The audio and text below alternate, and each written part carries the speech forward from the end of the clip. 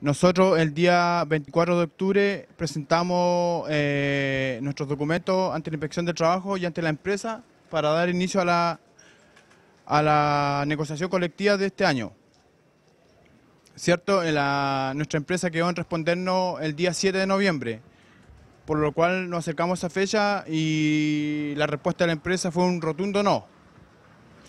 Eh, durante el mes de noviembre eh, fue el tema de las conversaciones en, la mesa negociadora. ¿Ya? Lamentablemente nuestra empresa no, no, no, lo escuchó, los incrementos que nos está dando son bajísimos, por lo cual el 2 de diciembre se votó la huelga, con un 96% de aprobación de parte de los socios que están en el sindicato.